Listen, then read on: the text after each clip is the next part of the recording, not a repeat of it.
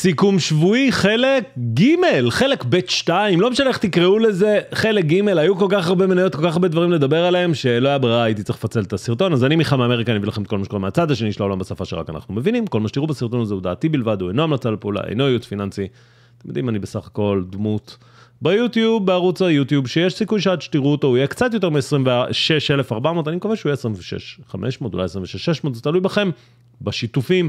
בהירשמות אם אתם עוד לא subscribe ובמעבר הפעמון להכל. וכמובן אם אתם רוצים את הכל לקחת לצעד הבא, לנתח יותר טוב, לתרגל יותר טוב, ניתוחים, לעשות כל הדברים האלה, אתם מוזמנים אלינו לדיסקורד, איפה שכל הדברים האלה קורים, באמת שאתם מוזמנים. אז ככה, על מה נדבר בסרטון היום? סוקס, שזה אה, מדד ה semiconductors, NVIDIA, AMD, ואין ברירה, נדבר על ה SOXS אה, to the downside, מה שאומרים, סוקס S, נדבר, אני אדלג על ה-SMH, כי אתה יודע, אולי נדבר גם על SMH, XLE, אקסון מובייל, XLV, שזה סקטור הבריאות, XBI זה הביוטק, זה בעצם הטכנולוגיה בסקטור הבריאות, MGN, AMGN, XLF שזה סקטור הבנקים, טזלה וניו, וניו, קדימה לצלול, מי שלא זוכר, יש פה slider, אתם יכולים להקפיץ ממניה למניה, SOXS, סקטור ה semiconductor, את מי הוא מכיל? SOXS, ETF, holdings, Enter, את מי הוא מכיל? בבקשה, בואו נפתח, מכיל את החברות הבאות, NVIDIA, Broadcom, אינטל, Texas Instruments, ואני מקווה שזה יעלה ואז אני אוכל להמשיך להקריא. רגע, רגע, רגע, גולים, גולים, גולים, לא, מת, לא מתייאשים. NVIDIA, Broadcom, אינטל, Texas Instruments, AMD, Qualcomm, KLAC, Analog, Microchip ו ON Semiconductor וכמובן עוד ועוד אבל זה בעיקר אתם רואים 8% 7% 6% 6% 6% ופה אנחנו יורדים כבר ל-4%. יופי. קיצור מייצג את semiconductors SOXX. דרך אגב האינדקס עצמו נקרא SOX. זה ה semiconductor index של פילדלפיה. בחיים לא ייצרו semiconductor פילדלפיה אבל הנה עכשיו למדתם משהו חדש. SOXS. למה אתה מראה אותו? מה מעניין בו? בואו נראה אותו ברמה היומית. למה מעניין אותו? למה מעניין אותו? נתחיל בשבועי. נתחיל בשבועי, יותר פשוט. בשבועי. שיאים יורדים, אני מותח את הקו, שיאים יורדים, בואו נמתח אותו במדויק, שיאים יורדים, ואיפה נעצרנו השבוע? בדיוק על הקו. האם, האם בדקנו תמיכה, או שמא אנחנו קורסים פנימה? בואו נסתכל ברמה היומית. ברמה היומית, דרך אגב, זה חלק ג', כי חלק ב' יצא אתמול בצהריים, אתם מוזמנים לצפות בו איפה שעברנו על המדדים. מאוד חשוב, כי המדדים נותנים לנו אינדיקציה. אז בעצם אנחנו כרגע נמצאים בין שני, מה שנקרא, fan lines, קווי מגמה. פרצנו קו מגמה אחד של שיאים יורדים, אתם רואים אותו פה, ונתקלנו בקו המגמה השני של שיאים יורדים בעצם שהתחיל מינואר, 13 לינואר, המשיך ל-28 למרץ, המשיך ל-15 לאוגוסט, ואנחנו נמצאים בעצם בין שני קווי מגמה. אינדיקציה חיובית תהיה פריצה של קו המגמה הזה, סביב מחיר 418, אולי אפילו 424. שימו לב גם דרך אגב, כמה זה, אני אמחק את הקו רק כדי, לס... רק כדי שתראו כמה המחשבים שולטים בדברים. אני שם על ה-C, אני מחבר נקודה נוספת, פה על הפתיל, על קצה הפתיל. תראו איך זה נעצר, בדיוק, בדיוק, על הקו. לא, אין, אין שום קשר, לא, לא נגעתי פה. למה? כי בסוף ככה המחשבים מתנהלים, זה לא fundamentals ולא שום דבר אחר, זה בסך הכל ניתוח טכני. שהמחשבים מתוכנתים. אז עכשיו אנחנו נמצאים בין קווי מגמה, צריך לשים לב לזה בצורה משמעותית. אם אנחנו עוברים את ה-423, זה אומר שפרצנו כלפי מעלה, וזו אינדיקציה חיובית. אם אנחנו יורדים כלפי מטה, יש לנו בעצם תמיכה באזור ה-389, ואחרי זה עשויה להיות לנו פה תמיכה באזור קו... למה זה מתח לי פה? פה התכוונתי 389, ואחרי זה אנחנו עשויים למצוא תמיכה נוספת באזור ה-380. אם אנחנו הולכים ובודקים האם לסוקס יש גאפים, בואו נבדוק. אז ככה, יש לו gap מאוד נמוך, ויש לו gap מעל הראש, שבדרך יש לו התנגדות, אז כרגע הגאפים לא ישפיעו על חיינו. אז זה ה SOX, זה איך שאני רואה את סקטור ה semiconductors. אין פה נר בולען, אין פה engulfing candle, אבל אנחנו צריכים להיזהר, כי כרגע זה לא נראה הכי מבטיח בעולם. יותר מזה, תסתכלו ביום שישי את מוטיבציית המוכרים. CCI עבר לאזור המומנטום, מה שאומר שיש בין עוד יומיים לארבעה ימים, סטטיסטית. של ירידות. זה הסוקס, ה-SOXS, ואם זה מה שאנחנו חושבים, בואו נסתכל על המניות שלנו, בואו נתחיל עם NVIDIA. NVIDIA, האמת NVIDIA אפשר לראות פשוט ברמה היומית. שימו לב, יש לנו קו C'ים יורדים, שוב אותו סיפור, C, C, C, C, C, חמישה C'ים בקו אחד, מכבד אותו. קו שפלים עולים, שפל, שפל, שפל, מכבד אותו. מה שאומר ש NVIDIA, בימים הקרובים, תנחשו איפה זה נופל, big surprise, huge, בדיוק בדיווח התוצאות שלה, הולכת לקבל החלטה. אם סקטור ה semiconductors צולל, מה לדעתכם יקרה בדיווח התוצאות של NVIDIA? אני לא נביא, אני לא יודע אם זה מה שיקרה. אני יודע להגיד שבטוח צריך מאוד מאוד להיזהר מ-NVIDIA בדיווח התוצאות של ה-24 לאוגוסט, ולמה? פשוט כי, אתם, יכול, אתם רואים פה, אתם יודעים, בואו נמתח, יש לי קו כזה? יש לי קו כזה, רגע, בואו נמצא אותו. יש קו כזה שאפשר לצייר, קו vertical line, זה מה שחיפשתי, vertical line, טאק. פה, זה תקרה ההחלטה בדיוק באייפקס של המשולש. שימו לב, דרך אגב, ביום שישי היה לנו ווליום אה, מוכרים עם הרבה יותר מוטיבציה. אז NVIDIA, להיזהר בבקשה, בבקשה, בבקשה. AMD, בואו נתחיל עם AMD ברמה השבועית. AMD ברמה השבועית, למה זה נראה ככה? בואו נשים את הלוג ואז הכל יסתדר. יפה. AMD ברמה השבועית, שימו לב, קו שיאים יורדים. פעם, פעמיים, שלוש, ארבע, חמש, שש. לא מצליחה לעבור את השיאים היורדים. מה עוד אנחנו יורדים? תוך כדי העלייה שלה, נפח המסחר ברמה השבועית יורד. CCI מתעגל כלפי מטה. AMD כרגע, אם לא ייכנסו אם האוטובוסים של הקונים לא יגיעו, AMD בדרך למטה לפחות ברמה השבועית. ואז כשאנחנו מסתכלים עליה ברמה היומית, ככה היא נראית. שימו לב, היא כבר מתחילה להיות oversold, מכירת יתר, שזה טוב דווקא, זה סותר את מה שראינו ב-SOXS, זה טוב. וגם אנחנו יכולים לראות שעם כל המוטיבציית מוכרים, בסוף היא מתייצבת באזור המחיר 93.84 במשך כמה ימים. זה קרה ביום של השלישי לאוגוסט, זה קרה שוב ביום התשיעי לאוגוסט, וזה קרה שוב ביום ה-19 לאוגוסט. AMD, גם היא צריכה לקבל החלטה, לפחות ברזולוציה, נקרא לה היותר קרובה, מה היא הולכת לעשות. האם היא הולכת לשבור את קו התמיכה ב-93, או היא פורצת כלפי מעלה עם ווליום נוסף, ואז עוברת את ה-104, ועשויה גם להגיע ל-110. אין לה ארנינגס, אין לה שום דבר, אם NVIDIA תעלה, AMD תעלה איתה מה שנקרא Sympathy Act, ואם NVIDIA לא תעלה, אתם יודעים לבד מה יקרה עם AMD. AMD, כמו שאתם יכולים לראות, יודעת להמשיך להיות oversold הרבה זמן, זה כל הירידה הזו. אז למה זה חזר לפה? לא התכוונתי לזה, רגע. שנייה. אז זהירות גם עם AMD, ובכלל כל שוק ה semiconductors כרגע הייתי מאוד מאוד נזהר. בואו נראה אם יש לה איזשהו gap שמסתתר, בואו נשים את ה gap detector. אז אין לה gap קרוב אליה, כמו שאתם רואים, יש לה רק gap מעל הראש, יחסית רחוק, אז גאפים לא ישפיעו כרגע על AMD, ולכן זה רק, רק, רק מוטיבציות קונים ומוכרים. AMD, ראינו, ממשיכים. ככה, ניתן הקדמה. אם אתם רואים שה SOX, דהיינו semiconductors מתחיל לרדת, אפשר לעשות מזה כסף. הדרך לעשות מזה כסף, יש תעודות הופכיות. התעודה הזו היא מסוכנת, דיברנו עליה, גם הראיתי שהיא מסוכנת, אני רוצה לחזור ולהראות מה אני רואה בה. ראינו מה ראיתי ב SOX, בואו נסתכל על SOXS, S בסוף, שימו לב למה כתוב, SOXS, מכפיל פי שלוש את הירידה של הסמי קונדקטור. שוב אני אומר, לא נשארים איתה הרבה זמן. אם נשארתם איתה כי חשבתם שהיא תעלה כלפי מעלה והיה לכם פה 100 אלף דולר, יש לכם עכשיו 58 אחוז פחות. זאת אומרת שיש להם 42 אלף דולר. כדי מ-42 אלף דולר לחזור ל-100 אלף דולר, אתם צריכים הרבה יותר מ-100 אחוז. הרבה יותר. זה אומר, זהירות. לא סוחרים בתעודות האלה, ולא לרשום לי בתגובות, תחסכו ממני את הוויכוחים האלה, זו דעתי. אתם חושבים אחרת? תעשו, מה שאתם רוצים. SOXS. תמיכה, רביעי לינואר, תמיכה, 30, 29 במרץ, קרובה מאוד לתמיכה. עדיין לא בתמיכה. יש לה פה אפשרות לרדת עוד, היא הייתה 33, עוד דולר כדי להתמך. אני לא פיינשמקר, לי לא מפריע. כשזה נופל על, מגניב, כשזה נופל בהפרש של דולר, לא מטריד אותי יתר על המידה.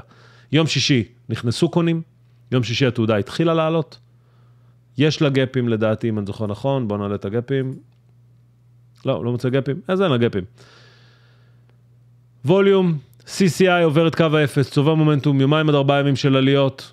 שימו לב, SOXS, לי לפחות נראית מאוד מאוד מעניינת. זה לא לטווח ארוך, זה למסחר. אם רואים מומנטום נכנסים, רואים יוצאים, לא צריך להישאר איתה overnight, חבל על האנרגיה. כל לילה היא מתאפסת. כשהיא מתאפסת בלילה, זה אומר שאתם עשויים למצוא את עצמכם מתחילים את היום לא בפי שלוש. יכול להיות שהתעודה, ה SOXS בלילה תרוץ ב pre-market או ב after market ואתם לא תהנו מהריצה. זה אחת הסיבות למה לא נשארים overnight. זה SOXS, אני אישית חושב שצריך לשים פה חץ כזה. דעתי. זה SOXS. וכמובן יש אה, קו, אם היא שוברת את ה-32 יוצאים, כי כנראה כל התזה אה, ירדה, וזהו, ואז אין בעיה, יוצאים. risk reward, ברור וקל. מה רציתי להראות ב-SMH? SMH זה בסך הכל עוד תעודה, הרבה מאוד בלאגן על המסך, אני שונא שיש כל כך הרבה קווים על המסך, אבל רק כדי להראות לכם בעצם SMH, תעודת הסל של הסמי קונדקטור, נעצרה בהתנגדות באזור 247, נמצאת בין, בין תמיכה לבין התנגדות, בוא נעיף את הקו הזה שנייה. גם את זה, יופי. קו שיאים יורדים, נמצאת על הקו, בדיוק כמו הסוקס, זו אותה תעודה, קווים מקבילים של uh, קווי מגמה. ההחלטה תקרה השבוע, אין פה אפס.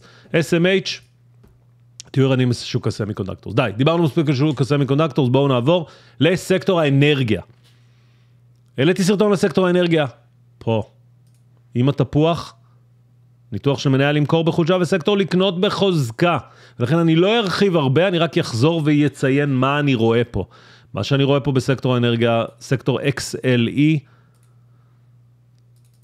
זה, שימו לב, קו מגמה שמתחילה מאוקטובר 2020, הולכת ועולה. קצת שבר, חזר לעצמו ברמה השבועית, שימו לב, נפח מסחר עולה ברמה השבועית, CCI עובר כלפי מעלה. יש לנו עלייה בנפח, אבל אנחנו קצת overbought. ולכן, כל מי שרואה את הסרטון הזה ופתאום הדלק פותח באיזה ירידה קלה, לא להגיד אבל מיכה אמרת שהוא יעלה. בהחלט יכול להיות שהוא ירד קצת. אבל אני חושב שהטרנד והמגמה תהיה כלפי מעלה, יש לנו gap באזור ה-80 עד 80-57 עד 81, יש לנו אחרי זה עוד gap באזור 86 עד 87. בקיצור, יש לנו מספיק גאפים למשוך אותנו כלפי מעלה, ב-XLE זו תעודת הסל של ה semiconductors, מי שלא יודע מה היא מכילה, עושים את אותו דבר, XLE, ETF, holdings, Enter, ולוחצים 6 more rows. והוא מראה לנו, היא מכילה את אקסון מובייל, את שברון, את אוקסידנטל, את קונוקו פיליפס, את EOG, את שלמברג'ה, את פיוניר, את מרתון, את ולרו ואת פיליפס. ואם כבר דיברנו על אקסון מובייל, בואו נראה אותה. איך נראית אקסון מובייל? כי יש אנשים שרוצים להחזיק דווקא אותה. אז מה יש לנו פה? אקסון מובייל צריכה לקבל החלטה, כמו שאתם יכולים לראות. אז קודם כל בואו נתחיל ברמה השבועית. איך היא נראית ברמה השבועית? מקפצת על קו המגמה. לא נמצאת כרגע על קו המגמה, אפשר לבוא ולהגיד היא כרגע 94, קו מגמה ב-85, אולי אפילו תרד לבדוק תמיכה באזור 85 וזה בסדר, זה עדיין קו מגמה. דרך אגב, אותו קו מגמה משכתי מה-26 לאוקטובר. זה ברמה השבועית. מה אנחנו רואים ברמה היומית? ברמה היומית אנחנו רואים קודם כל שפלים עולים, שיאים יורדים, ניסתה לפרוץ, ניסתה לפרוץ, לא הצליחה, ולכן אקסון מובייל, וגם אנחנו רואים מה אנחנו רואים פה, shooting star, נכון? אנחנו גם רואים shooting star, אנחנו רואים bearish harami, ולכן יכול מאוד להיות שהיא תרד לבדוק שוב את קו השפלים העולים, אזור ה-90, זה כלום, זה ירידה של 4 דולר, קצת פחות מ-5 אחוז, ו... צריכה לקבל החלטה על עתידה, היא גם אוטוטו נכנסת ל overbought, אתם רואים כבר את ה-CCI מתחיל להתיישר, ולכן XLE לטווח של חודשים נראית לי מעולה, לטווח של הימים הקרובים יש סיכוי דווקא שהיא תיחלש, אם אקסון מובייל תיחלש, ואז תפרוץ.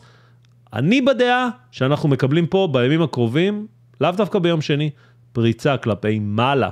ולכן שימו לב, אקסון מובייל לא סתם הבאתי אותה פה, כי נראית לי מאוד מאוד מעניינת. באה בתור. XLV. סקטור הבריאות, כשכולם בלחץ הם עוברים לאנרגיה, בריאות ו utilities, שלושה סקטורים. איך נראית ה-XLV? בואו נפתח אותה ברמה היומית. קו שמצייר את עצמו, התנגדות שהופכת לתמיכה, שהופכת להתנגדות, שהופכת להתנגדות, שהופכת להתנגדות, שהופכת להתנגדות, שהופכת להתנגדות, שהופכת להתנגדות. האם ההתנגדות הזאת בשלב מסוים תיפרץ?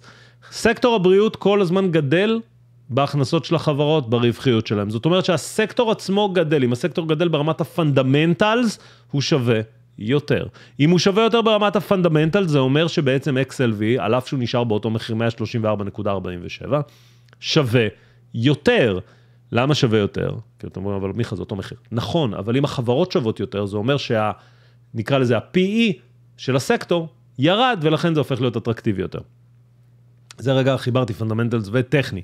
אז מה עוד אנחנו רואים פה? התנגדות, התנגדות, התנגדות, התנגדות, התנגדות, מתכנסת, שפלים עולים, CCI מתחיל להתעגל כלפי מעלה. יום שישי הבעיה שלא היה לנו נפח מסחר מספיק גדול, ולכן עוד קשה לקבל פה החלטה האם אנחנו פורצים או שוב מתנגשים בתקרה, אבל אנחנו נגיע פה לאיזושהי הכרעה בימים הקרובים. XLV, שימו לב אליה, אם השוק ייבהל מעצמו וירד, XLV תפרוץ. אם השוק יירגע ויגיד to the moon, XLV יחלש חזרה וייפול פה באייפקסים כמו שכולם נפלו. אז רמות המחיר לשים לב אליהם 134.47, מתחת לזה, מעל לזה זה כבר ירוץ כלפי מעלה. אה, לדעתי לחפש את ה-all time high, ואם זה זול, נוזל זה אומר שטכנולוגיה טסה ואז אתם יודעים איזה מניות צריך לקחת. הבא בתור זה XBI, למה אני מראה את XBI מיד אחרי XLV? אני רגע אסביר. בואו נפתח אותם רגע ביומי. XLV ראינו. XLV זה כל סקטור רפואי. XBI זה הביוטק בסקטור הרפואי. זאת אומרת, זה ה, נקרא לזה המניות טכנולוגיה, המניות עם הבטא היותר גבוהה בתוך סקטור הבריאות. הן לא תמיד עוקבות אחד לאחד, זאת אומרת שכולם מפחדים, XBI לא עולה.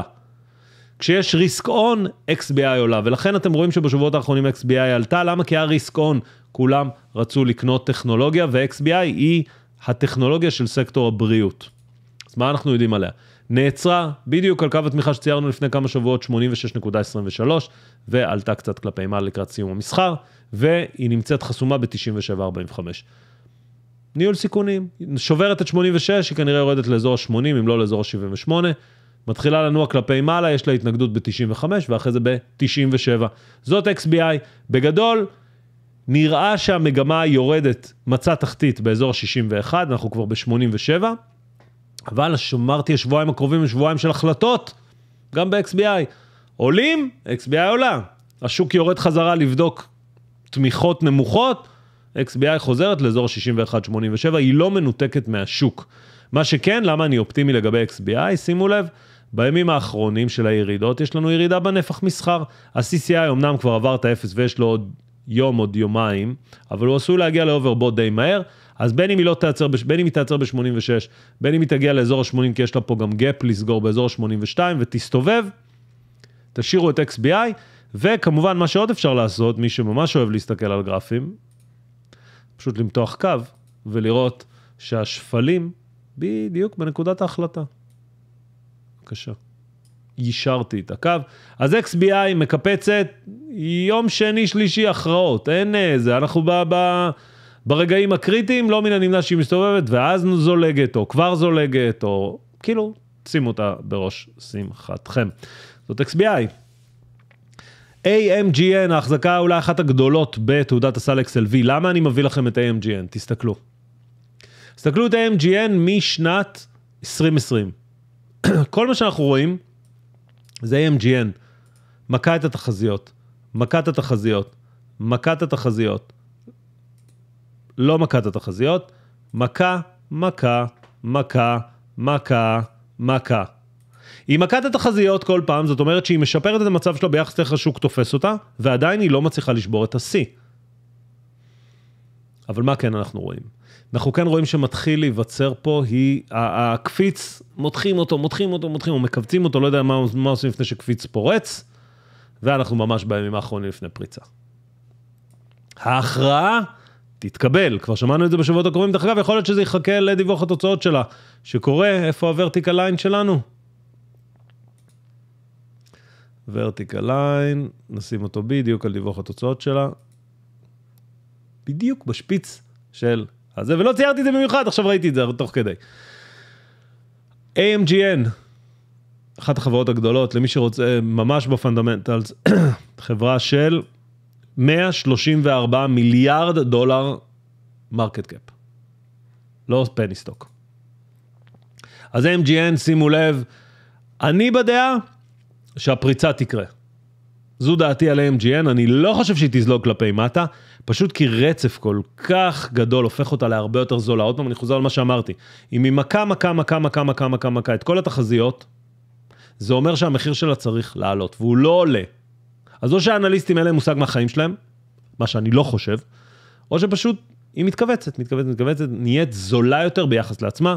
AMGN, שימו אותה בראש שלכם, זה החזקה ארוכת טווח, זה לא משהו קצר, זה אתם יכולים להחזיק אותה לשנים. למה לשנים? בואו נלך לשבועי. שימו לב איך היא נראית ברמה השבועית. מאז שנת 2000 ו... בואו נתחיל מפה. 2011, אנחנו ב-22, אם לפני 11 שנה הייתם קונים אותה, ב-51 היא שווה היום 250. עכשיו, היא הייתה חברה ענקית כבר אז. זה אפרופו תשואות על ציר זמן של שנים, 50, 250. פי 5 ב-11 שנה. אין תשואות כאלה. זה MGN, תסתכלו את אותו משפך שציירתי. תסתכלו כמה אחורה הוא הולך. עכשיו, לא מן הנמנע שזה ירד ויבדוק, כן? אבל תסתכלו כמה אחורה זה הולך. מטורף. זאת MGN, למה זה נראה ככה? כי באריתמטי, הנה, באריתמטי, תראו. תראו את המשפך, תראו איזה יופי. אחת, שתיים, שלוש, והנה השפלים. יכול להיות שהיא תבדוק שוב, יכול להיות שהפריצה תקרה איפשהו ב-2023, אני לא יודע. לי יש הרגשה שהיא יותר מדי פעמים פה נוקשת על הדלת עד שהיא תפרוץ אותה כלפי מעלה, בעיקר כי היא מכה את התחזיות כל פעם, AMGN, תוסיפו אותה החזקה ארוכת טווח, לא קצרת טווח, לא day trade. לא שאחרים day trade, אבל סבבה, ממשיכים. XLF, סקטור הבנקים, פה אני אעשה את זה ממש זריז. אה, סקטור הבנקים, עשה את הריצה שלו מאוד יפה, תיקן מה-17 ליוני כל הדרך. אה, בעצם אם השוק הוא לא רץ ב-15 עד 20 אחוז, הסקטור הבנקים רץ 17 אחוז, כמו השוק. כמו שאמרנו, סקטור הבנקים מעולם לא סיפק תשואה עודפת, לא שווה להחזיק אותו, אבל אני מראה אותו כי יש הרבה אנשים שאוהבים אותו בגלל הדיבידנד. אני לא מצליח להבין את האטרקטיביות, אבל זה אני. בוא נוריד את ה gap detector כי הוא סתם עושה לי פה בלאגן. יש לנו גאפים ב-XLF, תעודת הסל של הבנקים. יום שישי, שימו לב למוטיבציית המוכרים. תראו איזה מוטיבציה. אדירה. CCI מתחיל לרדת כלפי מטה, נר חזק של מוכרים, יש לנו gap בדיוק באזור הנר עד אזור 34, אחרי זה יש לנו עוד gap באזור השל... עד, כן, עד 34, ותמיכה באזור 33.7, אה, לדעתי XLF יורד לבדוק תמיכה, בין אם ב-33, באזור פה של 33 כנראה יהיו פה כמה תמיכות, XLF בכיוון למטה, אחלה פריצה, אחלה ריצה בימים האלה, אבל השוק לא מפרגן לבנקים, והסיבה שהשוק לא מפרגן לבנקים, כי כמות המשכנתאות שנלקחות, תראו, את המגפון, כמות המשקאות שנלקחות מצטמצמת, אין הנפקות, היחיד שמגייס כסף זה אדם נוימן. אז אתם יכולים לראות שיאים, שיאים, שיאים, ירידה, מגפון, אתם כבר מכירים את התצורות, זה XLF, זה למה הבאתי אותה, לא הייתי מתעסק איתה כרגע, אלא אם אתם רוצים לעשות עליה שורט, לדעתי. טוב, דיברנו על הספליט בחלק א', אני לא אדבר על הספליט, אבל אני כן מעלה את הגרף של טזלה, הסיבה שאני מעלה את הגרף של טזלה ואני אסתכל עליה רק בשבועי. הסיבה שאני מראה את הגרף של טזלה כי אירוע ספליט הוא אירוע בינארי, הוא אירוע בינארי, אירוע שבו אנחנו לא יודעים לצפות מה יקרה עם המניה. מה אנחנו כן יודעים לעשות? אנחנו יכולים להסתכל ולהגיד, נגיד אנחנו לא יודעים שיש ספליט. מה אנחנו כן רואים? אנחנו רואים שבעצם מה שעצר את הריצה המטאורית שנגרמה על ידי short squeeze מטורף בטזלה, באזור 4 לינואר 2021, זה, נשים את הקו פה, אה, זה בעצם המחיר שנקרא 884.49. כן, היא עברה split מאז והמחיר היה גבוה יותר וכולי, הכל נכון, אבל תשימו לב שאם אני מותח את הקו הזה ואני אעבה אותו כדי שתוכלו לראות אותו יותר טוב, מי שרואה את זה במכשיר הסלולרי, אנחנו נמצאים בדיוק באותה נקודה. אנחנו נמצאים בדיוק בשפלים העולים, בשיאים היורדים, במרכז שלו. אם אני אמדוד את המרחק כלפי מעלה יש לנו 190, 200 דולר, ואם אני אמדוד כלפי מטה יש לנו 220 דולר. אנחנו נמצאים באמצע. טזלה, בעקבות הספליט תקבל החלטה. ולא אני אקבל את ההחלטה בשבילה, אתם רואים פה אירוע ספליט קורה. לא אני אקבל את ההחלטה בשבילה, היא תקבל את ההחלטה בשבילנו. וההחלטה תתקבל השבוע, מיד אחרי הספליט. האם היא עולה כלפי מעלה לאזור האלף, אז יהיה שווה פחות חלקו בשלוש, או קורסת כל הדרך למטה, לאזור ה-650, תחלקו בשלוש. אבל ממש אפשר לראות שאנחנו ב... ברגעים, ברגעים שהכל אמור לקרות, ההחלטה צריכה לקרות, אין דרך אחרת לתאר אותה, בואו נראה את זה ברמה היומית איך זה נראה, בואו נסגור, וכן, לכן אנחנו בשבועות קריטיים, לא סתם חלק ג' וכל זה, אני לא סתם ייצרתי דרמה, כי באמת, אנחנו פה. אז כן, יש לנו קאפ, יש לנו הנדל, לא הצלחנו לפרוץ, או כן הצלחנו, כל אחד שיבחר איך שהוא רוצה. פשוט תגנו על עצמכם, אה, או תקנו כי אתם חושבים שזה יעלה. האמת, גם אם זה יעלה, יש כל כך הרבה זמן לקנות, לא חייבים אה, לרוץ לפני שהאירוע קורה. אה, אז טוב, טזלה, ראיתם, אין פה מה יותר מדי להוסיף מעבר לזה, ההכרעה תתקבל השבוע, או שבוע הבא, אבל בשבועיים הקרובים. ניאו, אז תראו, מבין כל המניות הסיניות, וזאת תהיה המניה האחרונה שאנחנו נסתכל עליה היום, ניאו תפקדה הכי טוב. דיברתי על זה כבר כמה ימים ואני חוזר ומדבר על זה. שימו לב, ניאו נעה בתוך מרווח מאוד מאוד קטן. אחרי שהיא יצאה מהתעלה העולה שלה, בואו נתחיל למחוק פה תעלה, טוב, באמת נשאיר אותה. אחרי שהיא יצאה מהתעלה העולה שלה, היא בעצם כבר קמה מאז ה... 22 ליולי, ליולי נעה בטווח מחיר של דולר וחצי. פחות מעשרה אחוז מהמחיר שלה, עולה, יורדת, עולה, יורדת, עולה, יורדת, עולה, יורדת. ושימו לב, כל פעם היא מקפצת פה על אזור מחיר עד 18.55, אני אשים פה קו עבה. 18, אני אשים פה קו עבה, זה גם יקרה? יקרה. 18.59. שוברת את זה, היא יורדת, חברים, אין פה מה, ניהול סיכונים הכי בסיסי שיכול להיות. לא שוברת את זה, וממשיכה לנוע כלפי מעלה, שמרה על התמיכה, וזה הפך להיות עכשיו הבסיס אולי הכי חזק שיש לה. לכן ניאו מעניינת, כי בעצם, גם כאן, ההכרעות יתקבלו בימים ובשבועות הקרובים.